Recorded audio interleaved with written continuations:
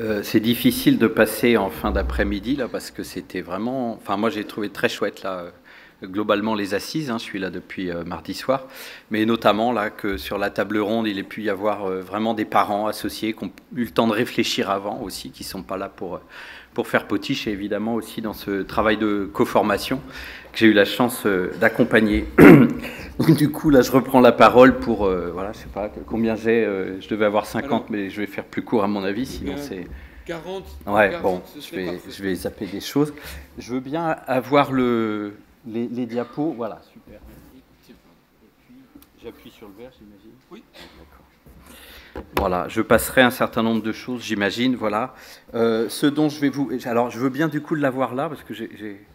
Plutôt que me voir, parce que je me connais un peu, mais c'est... Si, si je peux avoir le... Voilà, merci. Pour pas me retourner, merci. voilà.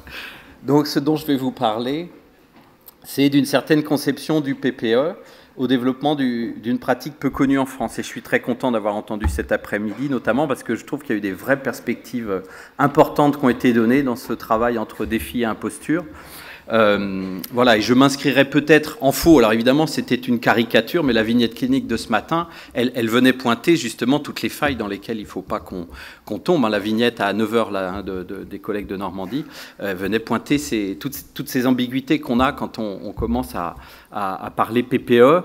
euh, en se disant mais je vais mettre ça où? Et puis quelle gueule ça ça a été pris comme un document administratif quoi pour l'instant donc je vais vous parler de cette conception que j'ai du PPE et puis, je voudrais aller euh, sur la fin de mon intervention euh, sur la présentation d'une pratique qui est encore assez peu connue en France, qui se développe un petit peu de façon expérimentale dans certains départements, notamment la Gironde, notamment l'Ardèche.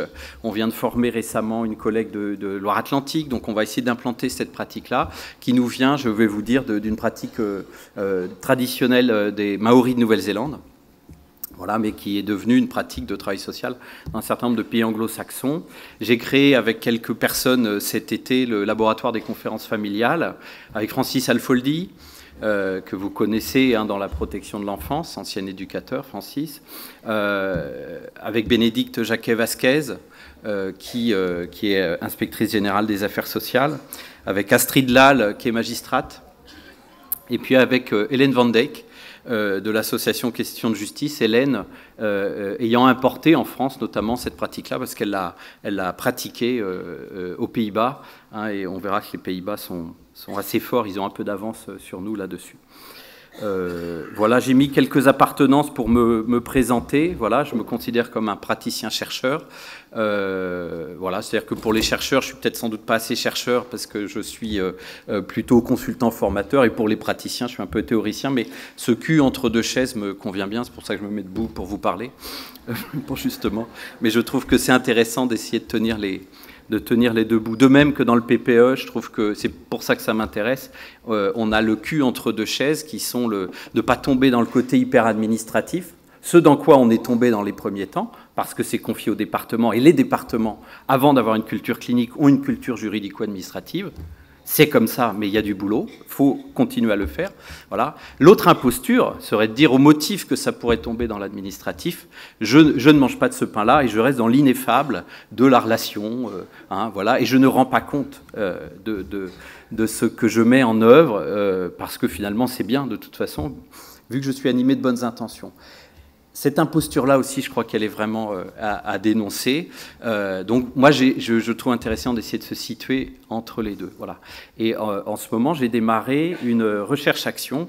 J'ai remporté un appel d'offres avec le département de Charente, qui me confie pendant un an une recherche-action avec, en gros, pour le dire, c'est pas marqué comme ça dans dans l'appel d'offres, mais est-ce que dans un an, avec un groupe de parents d'enfants placés, puis avec un groupe de travailleurs sociaux, pas que du département, enfin du département géographique, mais de l'ensemble des services, hein, donc j'ai un groupe de professionnels, pas de cadre, on s'est dit on part qu'avec des travailleurs sociaux et des assistantes familiales. Et ce groupe-là, c'est mon chercheur collectif, c'est pas moi le chercheur là à ce moment-là. Euh, et le but, c'est que dans un an, enfin maintenant dans six mois, on est à mi-parcours, on rende un PPE qui soit praticable, euh, qui ait du sens pour les parents et qui fasse pas chier les travailleurs sociaux. Donc vous voyez un peu le, le défi. Euh, c'est pas marqué comme ça dans l'appel d'offres, mais je vais vous dire la conception que j'en ai. Euh, mais, qui nous oblige à expliciter ce qu'on fait. Et ça, pour le coup, là, on va en chier, à mon avis. Donc, on a un peu de boulot de, ce côté-là. Pour vous dire l'approche que j'ai eue, euh, ça fait six mois qu'on travaille, on n'a pas écrit rien. On n'a rien écrit d'un COPEC, on déconstruit pour l'instant.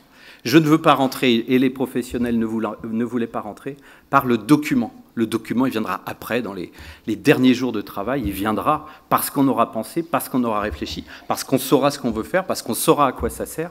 Je pense, alors ils commencent à flipper les professionnels, ils disent, mais monsieur Socha, on n'a rien écrit depuis six mois. mais par contre, on a fait énormément de choses, on a toutes les pièces du puzzle, elles vont se mettre en ordre, mais le document, on s'en fout. C'est est-ce que ça mobilise des gens? Est-ce que ça fait du sens? C'est ça, euh, ça qui m'anime un petit peu. Voilà.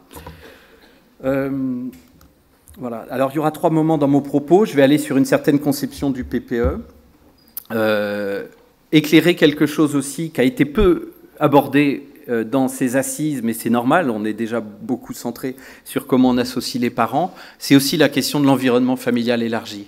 Un enfant, il grandit avec des parents, pas toujours avec les deux parents, parfois avec beaucoup d'autres parents ou qui jouent ce rôle-là euh, euh, dans, le domicile. Mais il grandit aussi avec des copains, il grandit aussi avec des amis, euh, il grandit aussi avec parfois les parents de ses amis qui sont importants pour eux, il grandit avec un éducateur de foot, avec une épicière bienveillante, il grandit avec tout ce monde-là et nous, ça ne nous regarde pas. Donc je pense que le PPE et le, et le décret notamment nous dit de regarder ça et la pratique des conférences familiales euh, regarde ça. Euh, voilà. Donc j'aimerais, aller un petit peu là-dessus et mettre le focus dans la loi et sur, euh, dans le décret sur ce qui parle de l'environnement, voilà, l'environnement familial, en, dire un mot. je me souviens, Claire Gann est, dans cette salle, on l'a entendu ce matin. vous étiez intervenu au groupe d'appui à la protection de l'enfance il y a quelques années. Et euh, vous parliez de turning point ce matin, d'éclairage comme ça dans la vie des gens. Vous avez euh, rapporté le propos de plusieurs enfants au travers de vos recherches en disant, mais finalement, beaucoup d'enfants m'ont dit, euh, alors je le dis avec ce que j'en ai retenu, hein, beaucoup d'enfants m'ont dit, mais moi, dans mon parcours, on m'a beaucoup parlé de mes parents, des problèmes qu'ont mes parents entre eux, des problèmes que j'ai avec eux. On m'a jamais demandé si j'avais des copains. Et ça, j'avais, moi, voilà, des, pépites comme ça, des phrases comme ça, ça me reste et je trouve qu'il faut qu'on travaille aussi avec ce que les enfants ont à dire. Et on parlera aussi de la place de l'enfant dans cette affaire-là, si, on a un peu de temps. Donc, euh, regard sur l'environnement familial élargi, puis sur la fin, vous présentez un peu les conférences familiales comme étant peut-être quelque chose d'intéressant à quoi la loi du 14 mars 2016 nous, nous ouvre. Je voudrais juste avoir un préalable sur la loi de 2016. J'ai entendu deux, trois choses depuis euh, hier matin qui, moi, m'égratignent un peu, mais c'est pas grave, on est là pour débattre. C'est juste que ça m'égratigne, mais ça ne veut pas dire que je corrige. Je vous dis la conception que j'ai, moi, de la loi de 2016. Pour moi, elle est inscrite complètement dans euh, la prolongation de la loi de 2007. Je ne crois pas à cette fable du retour de balancier qui nous permet du coup de retourner à une position. Je ne crois pas à cette position-là. C'est une loi de protection de l'enfant, ce n'est pas une loi de réforme de la protection de l'enfance. Donc c'est une loi qui s'inscrit dans la réforme de la protection de l'enfance de 2007. Vous comparez les deux articles 1, mis à part tout le début sur les besoins fondamentaux, il y a une réécriture de l'article 1 de la loi de 2007 qui est complètement reprise. Donc je, pense vraiment qu'on est dans la continuité. On est dans des tensions, effectivement, mais on n'est pas dans tout l'un ou tout l'autre. On, a caricaturé la loi de 2007 en disant qu'elle était familialiste. Caricaturons pas la loi de 2016 en disant qu'elle nous, nous, oblige maintenant à regarder que du côté de l'enfant. Enfin, sortons, enfin, je trouve qu'il faut sortir de là, sinon on ne va pas s'en sortir. Notamment, cette loi est derrière la conférence de consensus de Marie-Paul Martin-Blachet qui aboutit au, choix par la France quand même d'une certaine modélisation autour de ce que seraient les besoins fondamentaux, euh, avec l'approche inspirée du modèle écosystémique de Bronfenbrenner, et puis finalement des modèles de Ward et Rose repris par Claire Chamberlain euh, au, au, Québec. ce modèle-là dit très clairement euh, qu'il va falloir travailler avec l'environnement familial, avec les parents. Je veux dire, donc la continuité et l'exploration de la loi de 2016 nous remet le nez dans cette affaire-là. Euh, c'est pas du tout, c'est pas du tout en opposition. C'est une loi également, mais les collègues de la coformation l'ont dit, qui approfondit euh, les. Moi, je suis très à cheval sur les droits fondamentaux. Il y a une des mamans de, la, en Charente là qui disait récemment aux professionnels. J'ai demandé à ce que la directrice enfance famille vienne rencontrer le groupe là, à un moment un peu charnière. Elle disait, vous savez, moi, les postures et tout ça il y a juste une chose que je voudrais maintenant, pour moi, la seule chose qui me rendrait à peu près euh, la sérénité, c'est qu'on applique mes droits. Je demande aujourd'hui rien de plus. Avant, je demandais plus. Je demande rien de plus qu'on applique mes droits. Et vous savez, ce sera déjà beaucoup. Et que les professionnels connaissent les recommandations de l'ANESM. On a de plus en plus de parents qui se renseignent sur Internet et qui tombent sur ces recommandations-là. Et ça leur fait beaucoup de mal, du coup, euh, d'arriver et de dire, mais il y a un certain nombre de droits, et d'avoir des collègues. Ce n'est pas du tout une accusation. La loi est compliquée, il faut, la regarder, elle s'actualise, etc. Donc il faut des formations sur les droits, mais d'avoir des collègues qui en face disent je ne connais pas, euh, je connais pas ce droit à être accompagné de la personne de son choix. Loi du 6 juin 84. Ici, il y a des collègues qui ont moins de 33 ans. Ce droit-là, il est né avant eux. Il n'existe toujours pas dans certains services. C'est absolument pas normal. Il est remis tel quel dans la loi de 2002 il est remis dans la loi de 2016. Regardez la loi de 2016, il y a cinq articles qui sont copiés-collés, copiés-collés de la loi de 84. C'est extrêmement intéressant. Et c'est les articles qui concernent effectivement la loi de 84 hein, qui régissait les rapports entre les familles et les services de l'aide sociale à l'enfance. Non, les services de la protection de l'enfance, plus largement que l'aide sociale à l'enfance. Voilà, donc c'est une loi qui vraiment s'inscrit dans cette continuité, et donc une invitation à sortir du clivage, soutien aux parents contre protection de l'enfant. C'est des tensions, effectivement, c'est des tensions, mais c'est pas l'un contre l'autre. Enfin, voilà, je pense que ça, j'avais envie de le dire parce que je m'inscris dans cette conception-là pour que vous puissiez comprendre mon propos. Et puis, je, voilà, j'ai mis cette phrase un peu nouille. Euh, tu préfères papa ou maman? On trouve ça con comme question. Moi, quand on me demande si je préfère Berger ou Verdier, euh, ben, je trouve que c'est pas mieux. Voilà, donc le, secteur, je crois, euh, mérite mieux que ça. Quelle conception on peut avoir du PPE Enfin, quelle conception j'ai? Si je regarde le rapport de l'ONPE, l'Observatoire national de la protection de l'enfance, je suis entièrement d'accord avec chacun des mots qui est mis ici. Le PPE est plus qu'un document à établir c'est pas un document. On a utilisé avec les collègues, du coup, on se l'est mis sur un grand paper et on se le recolle à chaque fois qu'on se retrouve, le groupe de recherche-action. Non à ma vie en bordereau. Voilà. On ne va pas faire des PPE e comme on fait des contrats avec des avenants, parce que quand tout est à l'avenant, je crois que ça ne va pas vraiment bien. Donc, non à ma vie en bordereau. Euh, le, le, PPE, c'est plus qu'un document. Il vient radicalement, radicalement, c'est les collègues de l'ONPE qui nous le disent, et on est en train d'explorer, euh, ça. Mais les, collègues de la Moselle aussi ont, dit finalement qu'il y avait des choses. Cette, question de, l'anamnèse une fois pour toutes et d'arrêter de redemander aux gens, avec tous les effets euh, de, de, déconnexion de soi quand on se met à raconter une histoire qui finit par ne plus être la nôtre, voilà, ça, ça a des effets psychiques assez délétères. Voilà.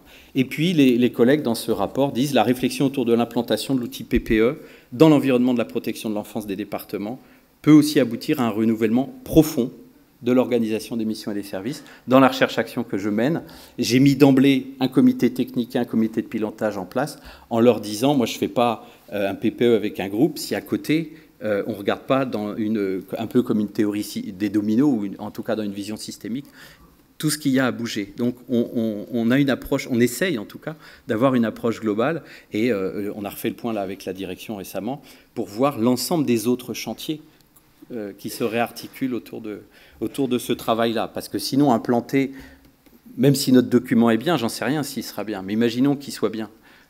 Euh, voilà, il est, recouvert complètement si à côté rien n'a bougé. Enfin, ça, ça je pense qu'on le sait. Alors, quelques conceptions du PPE euh, qui, qui, moi, m'animent.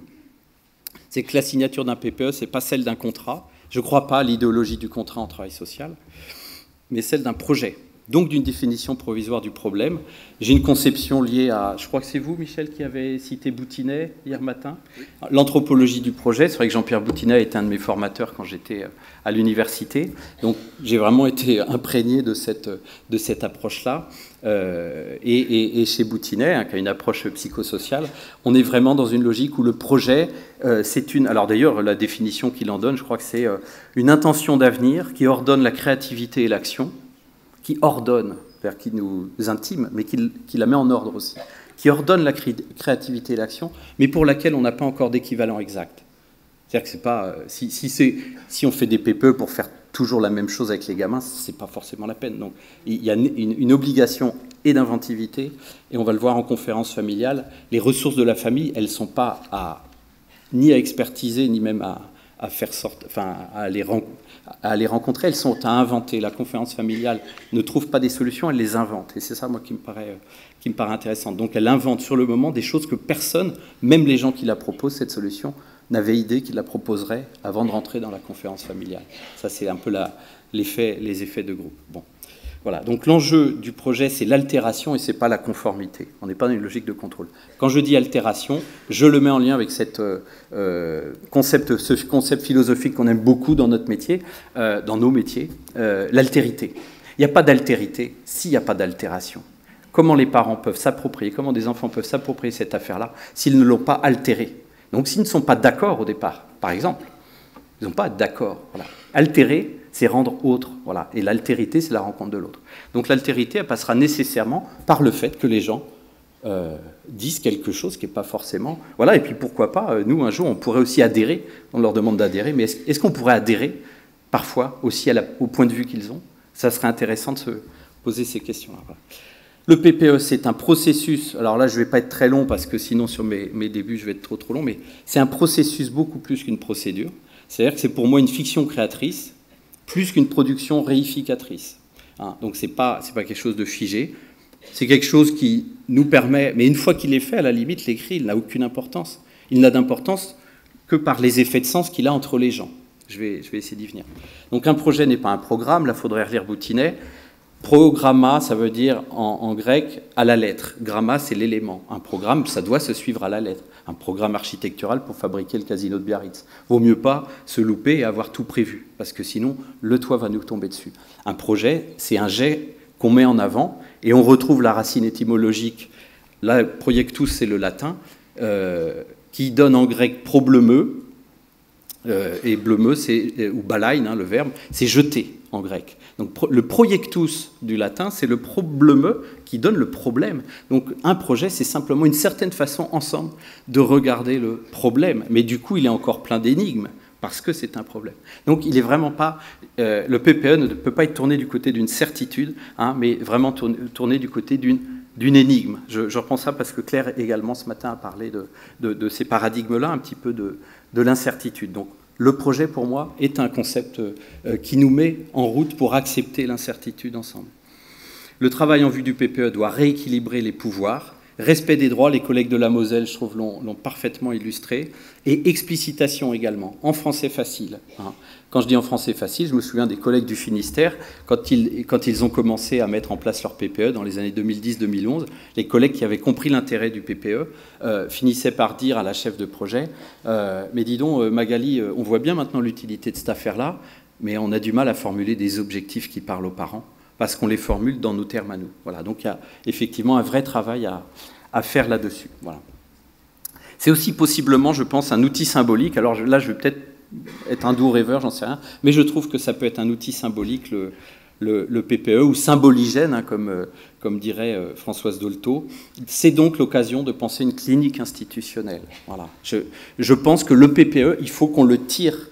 C'est ça le défi ou l'imposture il ne peut pas être purement administratif, ben, le laissons pas aux administratifs. Amenons de la culture clinique à l'endroit où on discute avec des parents, avec une famille, avec des enfants du PPE, amenons de la culture clinique. Donc euh, ça, nécessite euh, de, penser une, une, une clinique institutionnelle. Et puis, Peut-être là aussi je rêve, mais je trouve qu'on pourrait regarder ça sous l'angle de ce que Winnicott euh, racontait avec son espace transitionnel. On a souvent réduit Winnicott à la, à la notion d'objet transitionnel, le fameux doudou. Euh, Winnicott, c'est évidemment plus compliqué que ça. Euh, c'est toute la question de l'espace transitionnel, de l'espace potentiel et de, de l'interaction finalement entre du dedans et du dehors. Je vais en dire un mot un outil, euh, un outil euh, symbolique ou symboligène, euh, juste pour le dire, moi je pense qu'on parle de, enfin je parle de clinique institutionnelle pour désigner finalement comment l'institution et l'organisation vont jouer un rôle essentiel dans la circulation de la parole, dans l'émergence de signification, dans l'ouverture, hein, voilà, dans l'ouverture, dans la problématisation, dans le fait de jeter en avant, projeter, hein, jeter en avant quelque chose qu'il faut qu'on fasse sans savoir exactement tout ce qu'on va avoir à faire. Il faut vraiment pas et c'est pour ça qu'on ne peut pas après attendre, trois mois après, dans la révision, être à uniquement à un contrôle de conformité. Parce que sinon on se remet dans la logique du contrat. Mais madame, on vous, avait dit d'aller voir le psychologue et vous n'y êtes pas allé, comment vous voulez qu'on fasse, etc. Et là, et là, on se fait enfermer. C'est un peu, évidemment, c'est plus subtil que ça, mais on est amené à ce, à ce genre d'affaires. Voilà. Donc il s'agit de regarder comment les relations au sein de la négociation autour du PPE se déroulent. Est-ce qu'elles sont humanisantes, soignantes finalement, euh, ou est-ce qu'au contraire elles sont stérilisantes infantilisante ou humiliante. Ces mots d'infantilisé, humilié sont les mots qui reviennent le plus souvent dans les rapports officiels euh, de l'IGAS, du défenseur des droits, euh, de, et d'un certain nombre de travaux de recherche, les travaux de l'ONED, euh, depuis 30 ans, quand il s'agit de parler des, parents de la protection de l'enfant. Je crois qu'on en a vu là encore une illustration. La question ici n'est bien pas nos intentions, je crois que j'avais été clair là-dessus en vous rencontrant à Narbonne, mais la question est celle des effets iatrogènes. Effets iatrogènes, Cécile Delhomme en parlait hier matin dans sa prise de position. C'est de ce côté-là qu'il faut qu'on regarde aujourd'hui. Voilà. Et est-ce que ça pourrait être un espace potentiel, le, PPE, au sens de Winnicott? Ben, Si on pense que euh, euh, l'espace potentiel tel que Winnicott nous l'enseigne, c'est un espace d'élaboration psychique et de projection qui permet de construire une, pour chacun une relation à soi et aux autres, et que ça met du jeu, hein, vous vous souvenez, jeu et réalité, euh, ça met du jeu, alors on pourrait dire ça met du jeu, mais enfin en tout cas ça met du jeu, ça met de la distance, de la représentation. Hein. Euh, on est moins collé aux choses. Ça réouvre donc possiblement le champ des possibles, hein, euh, plutôt du côté de ce que euh, Habermas appellerait l'agir émancipatoire, peut-être proche de ce que Claire Gann appelait ce matin l'agency. Hein, euh, il me semble que c'est de, on est dans la même famille euh, conceptuelle, plutôt que de mener à la passivité, au pouvoir subi. C'est ce que les collègues, les parents là nous ont montré, ce oui de façade, et puis ils disaient oui, et puis ils venaient nous dire ce qu'ils avaient véritablement en tête, qui n'était évidemment pas un oui. Mais sur le moment, euh, c'était un contrat léonin qui leur était proposé, c'était signer là. Et on, et on sait qu'il vaut mieux signer là, parce qu'on sait ce qui nous attend si on n'est pas d'accord. Donc là, il faut qu'on travaille ce, nœud-là. Et je pense que le PPE peut construire une trame symbolique contenante pour l'enfant, celle d'une communauté adulte. C'est ça qui est intéressant dans la représentation qu'on pourrait avoir en étant tous autour d'une table pour essayer de réfléchir à l'avenir d'un enfant. La communauté adulte, c'est une thématique chère à la philosophe euh, Anna Arendt. Hein. Euh, il y a un petit film, je ne vais pas vous le montrer, je n'ai pas le temps, mais sur les conférences familiales, si ça vous intéresse, allez voir sur YouTube. Vous tapez conférence familiale, il y a un petit film, j'ai mis le lien dans le Power, comme ça vous l'aurez, euh, où il y a une jeune adolescente, une adolescente euh, aux Pays-Bas qui dit Mais moi, quand j'ai organisé ma conférence familiale et que j'ai mobilisé mon réseau, mais je pensais que personne viendrait. Je pensais que personne viendrait. Et puis ils étaient tous là. Il y avait plein de gens qui étaient là et qui avaient envie d'aider. Vous voyez la force que ça a pour elle? Elle est remise au monde d'une certaine façon euh, dans quelque chose qui est symboliquement, il y a un effet d'efficacité symbolique, si on regarde ça du point de vue anthropologique, à, cette, euh, à, cette, mobilisation. Là, je reprends cet exemple, il y avait la, il y avait la mère de sa copine, parce que c'est important quand ça chie chez ses parents qu'elle puisse se réfugier là-bas. Et bien du coup, elle nous a dit, enfin pas à moi, j'étais pas aux Pays-Bas, mais elle a dit, euh, je veux qu'elle soit là, cette femme, parce qu'elle est importante pour moi, vous voyez? Et donc, tout ce monde-là rassemblé, pendant des heures simplement pour son avenir à elle. Ça, ça a un effet symbolique euh, qui a, une, capacité de remise au monde finalement. Euh, voilà. Donc euh, cette vision du, PPE fait que moi je trouve qu'un dessin d'enfant y a sa place. Ça doit être un bel espace et pas simplement un machin administratif. Voilà.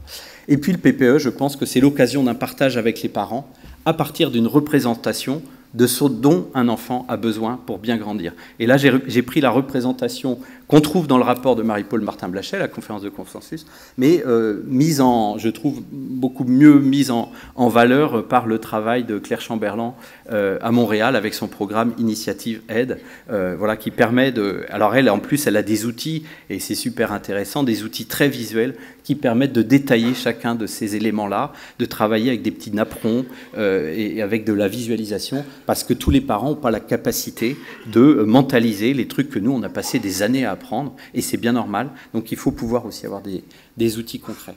L'enjeu ici, c'est ce que racontent Karl Lacharité et Jean-Pierre Gagné dans leur bouquin euh, euh, Comprendre les familles pour mieux intervenir hein, en 2009, euh, c'est de soutenir l'établissement conceptuel et éthique des parents, leur permettre de se représenter ce qu'on attend d'eux et ce qu'une société attend de parents pour qu'un enfant puisse bien grandir.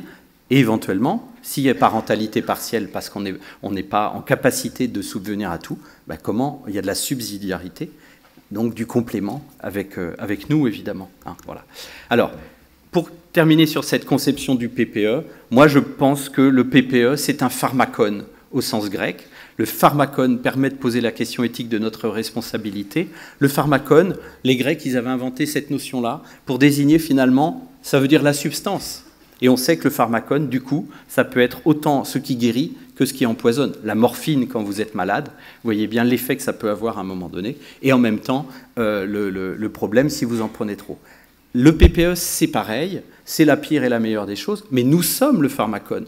Rencontrer un travailleur social, ça peut être la pire comme la meilleure des choses. Rencontrer un juge, il y a des parents dans une coformation avec, à l'ENM, à l'École nationale de magistrature, qui avaient dit est-ce que ça pourrait être une chance pour nous un jour de rencontrer un juge? Vous voyez? C'est pas évident. Pour nous, c'est évident que c'est une chance. Mais ça ne l'est pas pour tout le monde. C'est ces questions-là qui sont en jeu. De toute façon, nous sommes le pharmacone.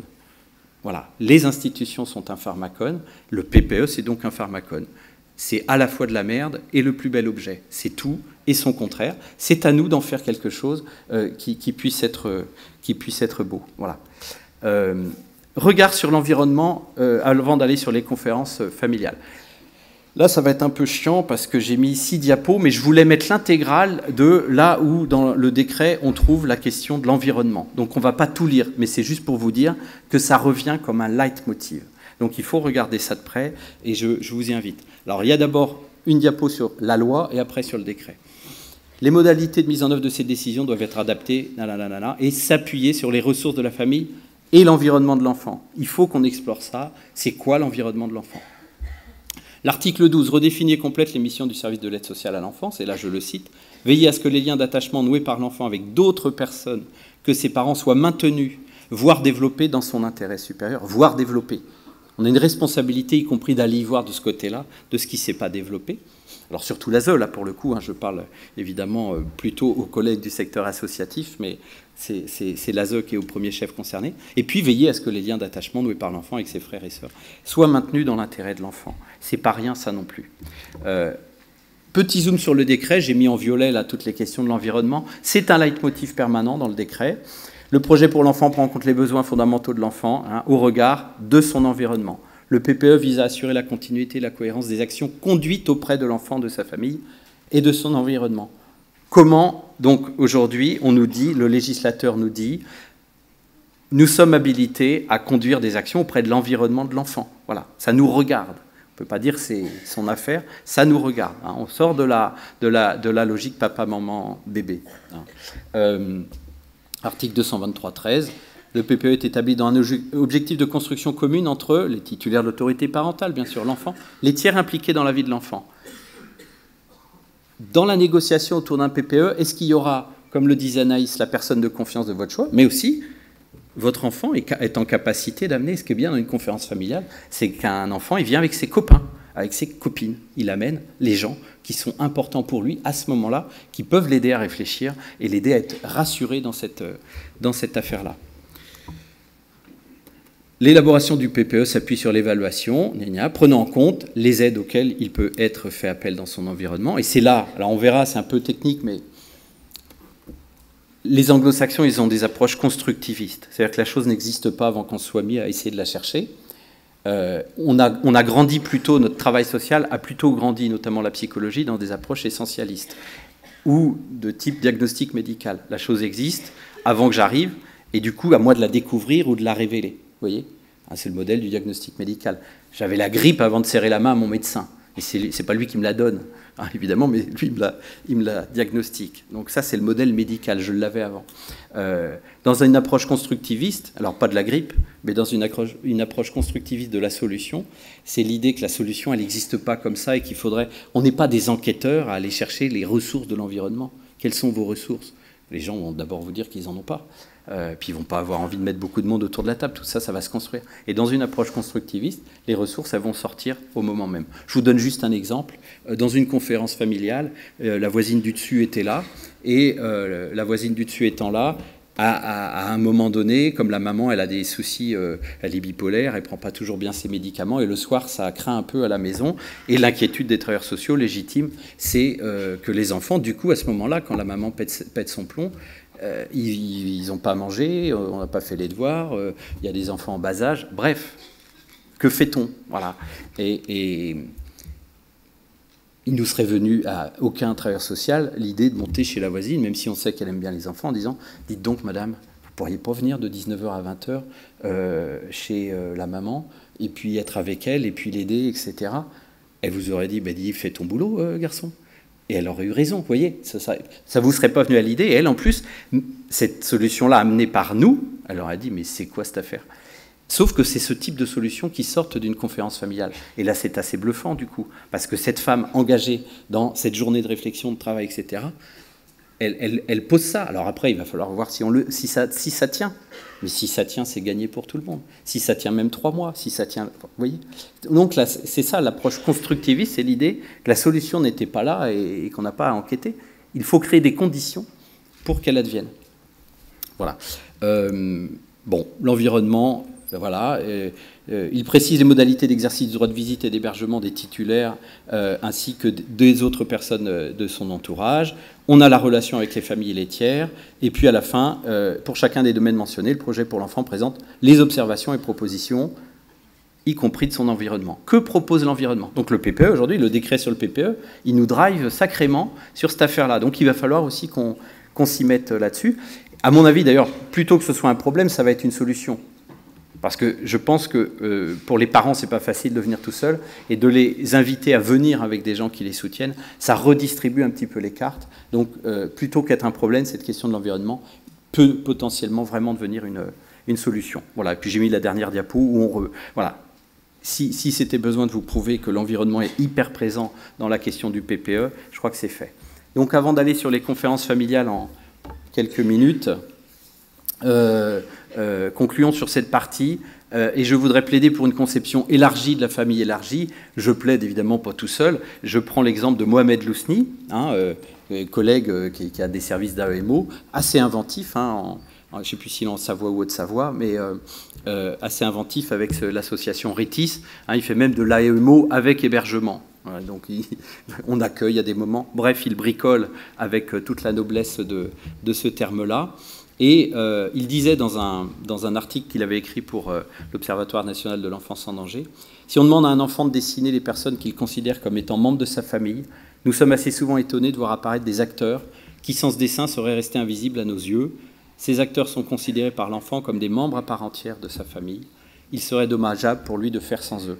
Voilà. La notion de famille est à penser de façon plus extensive que la petite PME, papa, maman, enfant, est membre de la famille, toute personne ayant une reconnaissance une utilité réelle et concrète dans la vie de l'enfant.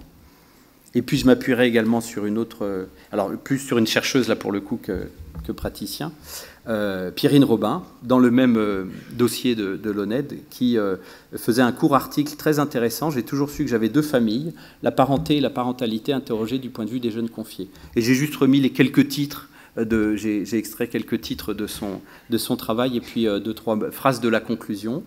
Euh, Pierrine dit les parentalités additionnelles sont un point aveugle de l'évaluation et de la prise en charge, ou elle le pose en tout cas comme question.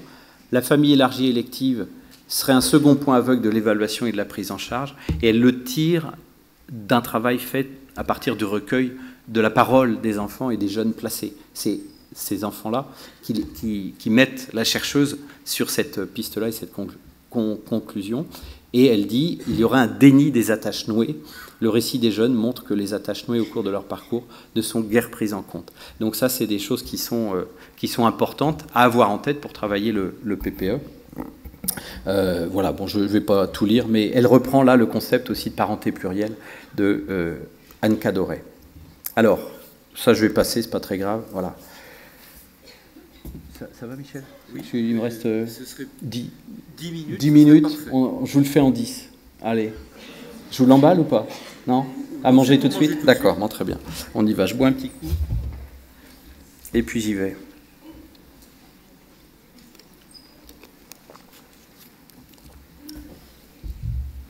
Euh, voilà, il me semble que du coup, les conférences familiales, moi qui m'intéresse depuis des années, je lis beaucoup de choses. J'ai d'abord lu les traductions que Francis Alfoldi a fait des travaux de Paul Zoltan Ban, qui est le collègue d'Australie qui a, qui a découvert ça euh, en Nouvelle-Zélande.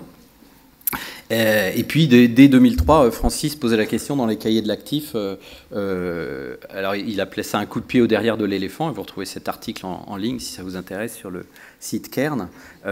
pourquoi la France ne s'intéresse-t-elle pas aux, conférences familiales? On a des dossiers de l'ONED qui en ont parlé également en 2011, en 2013.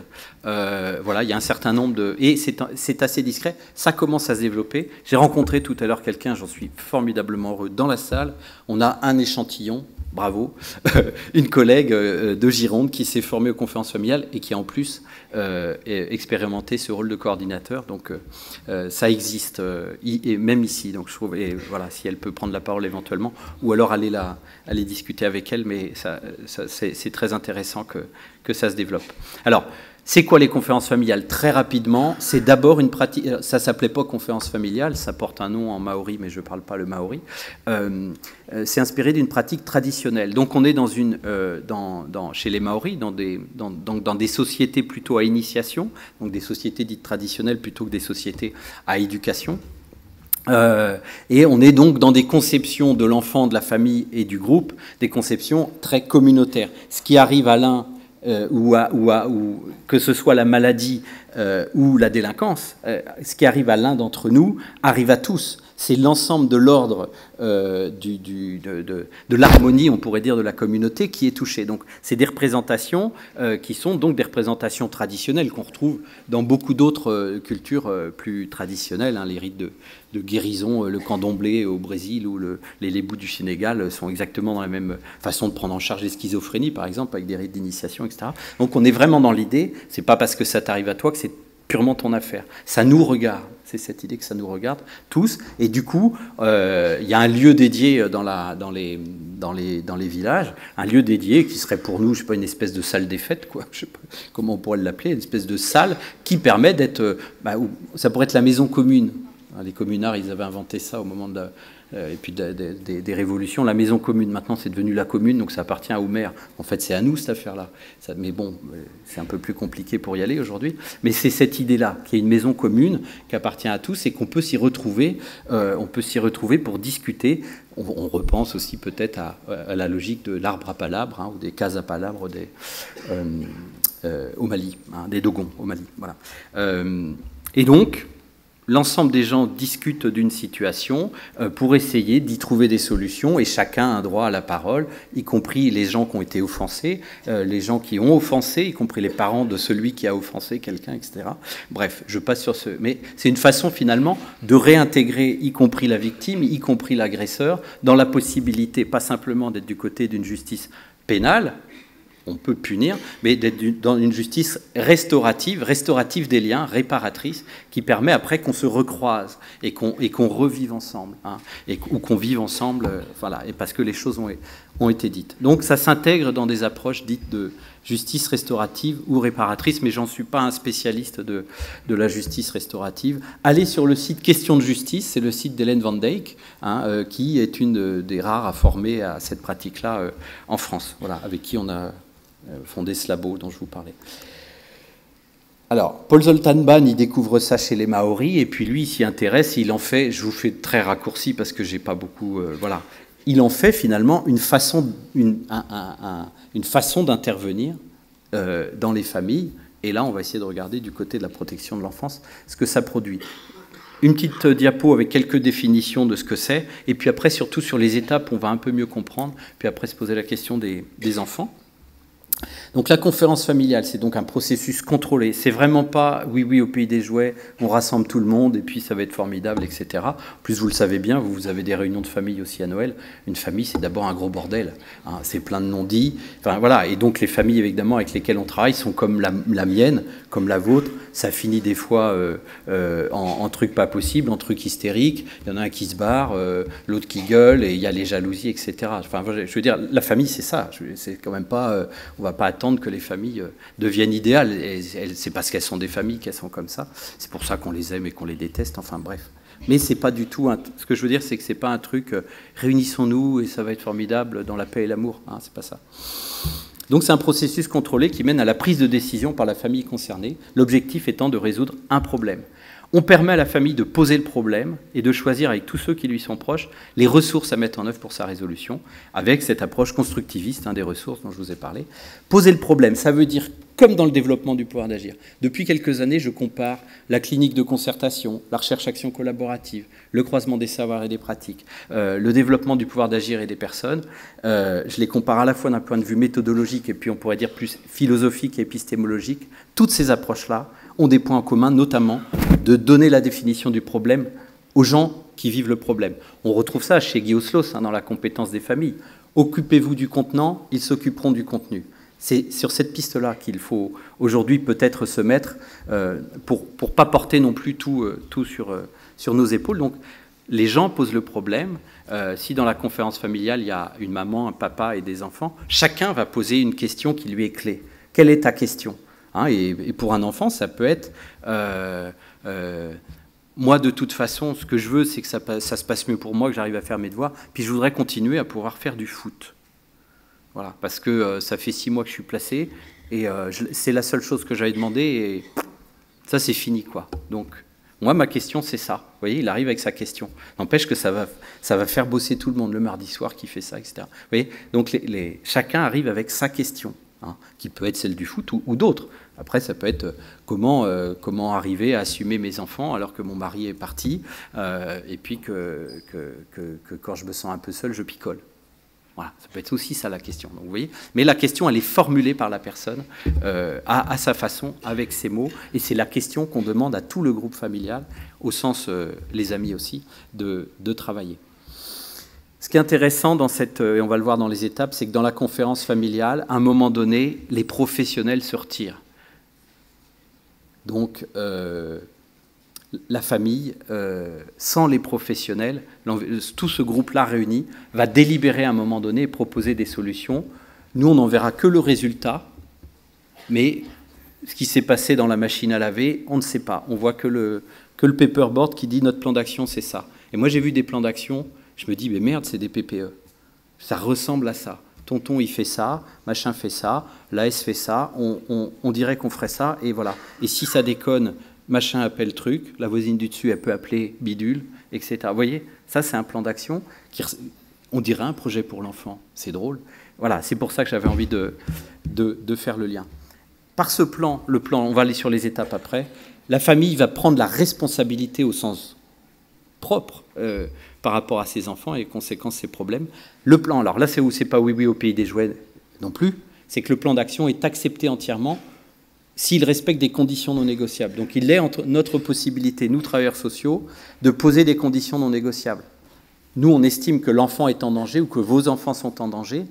Donc, inventez les solutions que vous, vous voulez, mais euh, si un nourrisson ne mange pas à sa faim, s'il reste toute une nuit en pleurant parce que vous n'êtes pas là, ça, c'est pas négociable. Donc il y a deux, trois conditions non négociables qu'on va poser et, euh, les gens vont travailler en connaissance de cause. On va aller sur les étapes pour que vous puissiez. J'ai conscience de faire un peu vite, mais voilà, au moins c'est du teasing. Peut-être vous aurez envie d'aller voir plus loin. Euh, la conférence familiale nécessite en fait une longue préparation. Le jour J, il y a eu trois mois avant. Hein, pour que ça puisse produire ses fruits. Ça nécessite une longue préparation avec la famille, un réseau large et des professionnels. Et c'est animé par un, c'est préparé par un coordinateur qui est indépendant des services. Aux Pays-Bas, par exemple, c'est des citoyens lambda. Ils ne sont pas psychologues, ils ne sont pas travailleurs sociaux, ils ont juste envie de dépanner d'autres citoyens. Voyez Ce qui fait qu'ils ne sont pas du tout agités par euh, notre fameuse question racontez-moi ce qui vous est arrivé l'anamnèse, ils ne savent même pas ce que ça veut dire, puis ça ne les intéresse pas. Donc ils ont beaucoup plus de facilité à le faire finalement, parce que leur, leur, job à eux, c'est de rassembler tout le monde, que les questions essentielles pour les gens qui sont au centre soient posées, et que chacun qui vienne à la conférence puisse venir en sécurité. Euh, voilà. La question, quand on prépare, le coordinateur, il va rencontrer chacun sur son lieu de vie. C'est pour ça que c'est un gros boulot, la préparation en amont. Hein. C'est vraiment pas euh, un petit coup de fil, vous viendrez. Mais du coup, en faisant ça, il va s'assurer, si vous êtes l'oncle ou la tante, à quelles conditions vous, vous pouvez être en sécurité dans ce moment-là. Qu'est-ce qui vous fait peur? Qu'est-ce que vous attendez de cette conférence familiale? Voilà, on travaille ça, hop. Ce qui est génial, sans doute, évidemment, nous on n'y est pas, et c'est ça qui est bien, c'est que ça refait circuler, les gens se rappellent, tu vas y aller, la sœur rappelle le, frère, tu vas y aller, rappelle la mère. Il y a plein de choses qui se décristallisent. C'est pour ça, approche constructiviste, c'est pas magique, c'est pas le jour même que la solution est ce pont. Par contre, toute la préparation décristallise un certain nombre de positions. Ah oui, notre sœur est picole, d'accord, mais euh, euh, c'est vrai que quand ses enfants ont été retirés, euh, on, a, on, a, été quand même un peu con avec elle, quoi. Tu te souviens comment on l'a aussi un peu laissé tomber? Parce que c'est pas, on n'avait pas envie, ça nous, ouais. voilà. Est-ce qu'on peut reparler de ça? Vous voyez comment les gens se remettent au travail dans cette affaire-là je reprends cet exemple parce que c'est vraiment sur une situation similaire sur laquelle on a travaillé en formation, donc c'est un peu mon, fil conducteur. Il y a trois étapes après le jour de la conférence. Il y a une étape où les professionnels et le coordinateur sont là, avec tous les gens invités. Ça peut être 50 personnes, hein, mais ça peut être aussi des fois 5-6. 5-6, c'est court, mais pour un sortant de prison, un monsieur qui sortait de prison, il n'y avait que 5 personnes, et c'était déjà pas mal. Euh, il y a une étape de communication des informations on dit pourquoi on est là, on nomme les problèmes, les collègues de la Moselle l'ont dit, il faut appeler un chat, mais souvent les parents nous le disent aussi. Dites-nous les choses finalement. C'est beaucoup plus simple que de les découvrir à l'audience. Parce que c'était compliqué à nous dire avant, et, c'est le juge là qui nous le met dans la gueule. On a le sentiment de ne pas vivre le même moment de quand vous nous avez rencontrés il y a trois semaines. C'est pas ça qu'on s'est dit. Donc, dire les choses aussi. Euh, c'est pour ça que c'est pas Weeby au pays des jouets. Donner des règles de discussion. On peut aborder les choses qui fâchent, mais sans se fâcher. On n'est pas forcé d'être d'accord, mais chacun a le droit de parler. Et ce qui est intéressant, c'est comme on se retire, du coup, il y a une responsabilité partagée du groupe. Et plus on est, mieux c'est, parce qu'il y a toujours des gens quand ça commence à déborder un papa qui commence à s'énerver parce qu'il euh, est mis face à ses contradictions et, euh, voilà et, peut-être à la violence conjugale qu'il a produit à un moment donné, il y aura des gens du groupe pour prendre ça en charge et pour permettre d'apaiser quelque chose, voyez. Mais ça peut, euh, ça peut, ça peut effectivement friter. Donc ça, c'est le temps de communication des informations en présence de professionnels. Et les professionnels là vont dire, et on l'a entendu très clairement avec J'oublie le nom de, cette dame qui était euh, une maman euh, qui était présente sur la table ronde avant, qui a dit Nous, on a besoin d'avoir des informations. Tous les parents avec lesquels je travaille depuis 15 ans disent ça, mais si on m'avait donné mes droits et des informations sur comment ça fonctionne, j'aurais pu commencer à essayer de m'organiser. Donc, euh, communiquer des informations, ça veut dire, par exemple, je reprends le cas d'une question d'alcoolisme, la communication des informations, ben, c'est faire venir un centre d'alcoolologie qui va expliquer en, français facile et en 15 minutes à la fois ce que c'est ce problème-là, mais aussi les services auxquels on peut euh, faire appel et comment on peut travailler cette question-là. Voilà, c'est dit, voyez. Et puis après, la collègue AS va pouvoir dire, et c'est pour ça que c'est astucieux quand Moselle, ce, soit aussi les collègues du, territoire, peuvent dire l'ensemble du champ des possibles. Voilà, nous, nous, départements, en fait, quand on a une situation, il y a de la GBF, il y a ci, il y a ça, on peut, on peut regarder les choses comme ça, et on peut, les TISF, enfin, puis on l'explique avec, euh, pas des sigles comme je le fais mal là, mais vous voyez, on peut... Euh, et puis après, on se retire, et les gens se démerdent avec ça, parce que finalement, la plupart du temps, ils se démerdent sans nous, parce que finalement, le temps, quand on met le temps qu'on passe, même en en logique renforcée, le temps qu'on passe auprès d'eux, c'est quand même peanuts. Mais c'est pas, pas notre faute. Hein. Je veux dire, regardons quantitativement. Ils se, voilà, donc, bah, du coup, ils se débrouillent aussi pour faire leur plan d'action, sans nous oublier. À la fin, ça peut durer une heure, ça peut durer cinq heures. Ils rappellent le coordinateur et ils présentent le plan d'action. Éventuellement, ils rappellent aussi le, travailleur social qui était référent de cette situation, qui a proposé la conférence, et on regarde ensemble si on peut suivre ça.